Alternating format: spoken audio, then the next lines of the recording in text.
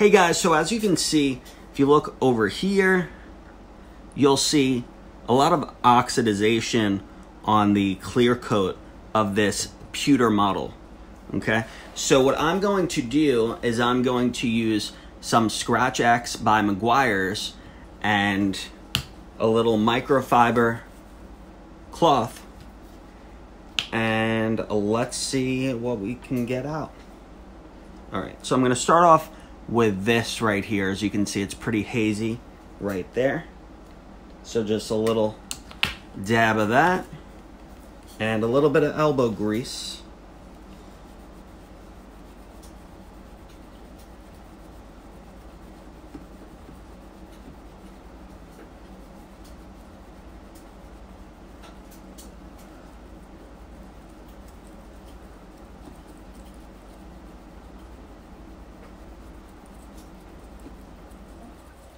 Few more seconds. Okay. Now what I'm to do is just wipe it off. And as you can see, voila. All gone. All right. Next one, let's do right here because this one's nice and noticeable. All right. So little dab. Okay.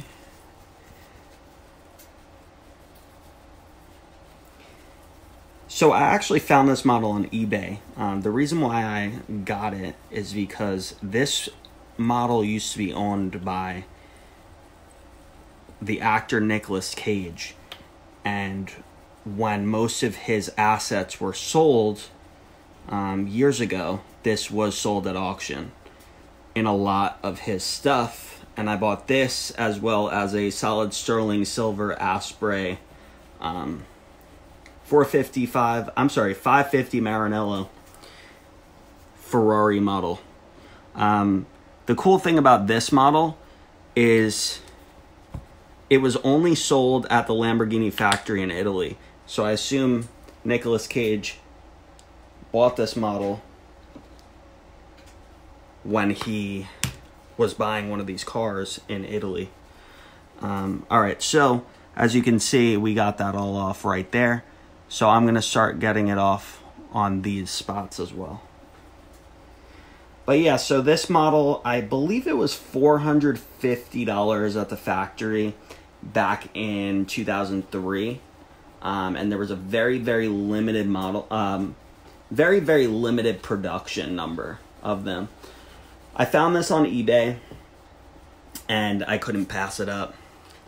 Um, I got a great deal on it, a couple hundred bucks, which is, you know, steal. So now it's part of my collection. This thing weighs like five pounds. Um, and what I did was when I got it, I wiped it down with alcohol because, you know, everything with COVID, I just wanted to uh, stay safe. So I rubbed it down with alcohol to disinfect it. Um, and then I noticed that maybe the alcohol that I put on there um, really hazed up the clear coat pretty bad on this pewter. So I, um, you know, have to sort of repair my uh, my damage here.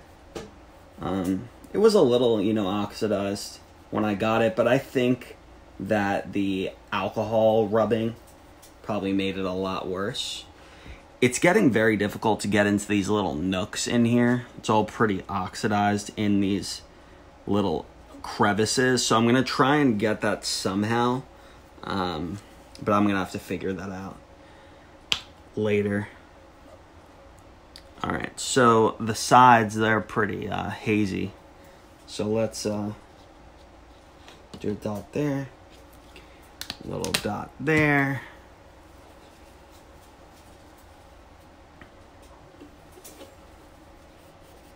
Just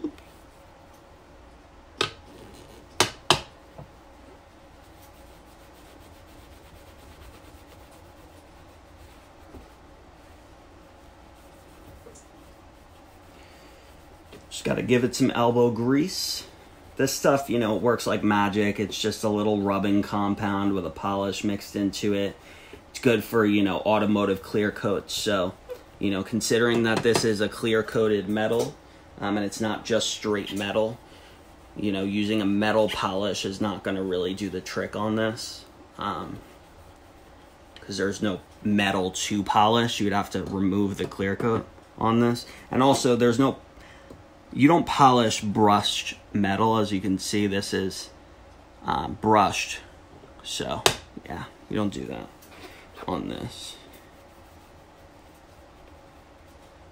I always find this nice and relaxing, you know, just chilling out after a long day and just, uh, working on the toys. So, you know, it's nice and fun. Let's see if we made any progress there. Yeah, that looks a lot better. Not perfect. I'll go over that again. Um, but you guys see the point. So I have finished polishing the model with the Scratch X by Meguiar's. And I definitely recommend it because this feels nice and buttery smooth. There's no more oxidized clear coat. Um, and this is actually, it's pretty much like a three in one. I believe it has a compound, a polish, and it has wax protection. Um, what the wax protection will definitely do for you is it'll enhance that shine. And on a model that is pewter, um, and this one is clear coated, um, the clear coat, you want it to be nice and shiny, so it'll definitely enhance the sheen. You know, as you can see, this uh, is a very, very, very special model. Um, I was only able to find one other one online, and it was not for sale. It was basically just showing that it had sold at one point. Um, but as you can see, this is you know it's it's quite the sight to see. This thing is really an extraordinary piece, and the history behind it is you know even cooler. The fact that it was only available for sale at the factory in Italy um, and this was purchased originally by Nicolas Cage, and then it, you know, um, got sold at his estate sale auction through Bonhams. Is you know, it's it's quite um, quite the story. You know, this thing is super duper heavy. Um, I weighed it; it was like five or six pounds. So yeah, I mean, it's it's absolutely stunning.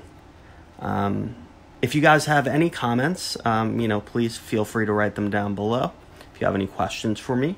And if you did enjoy this video, I'd greatly appreciate it if you would consider checking out my other videos and subscribing to my channel, um, as well as giving this a nice thumbs up. Thank you to everybody who made it this far into the video. I hope you enjoyed watching it as much as I enjoyed making it. Until next time, I will see you soon.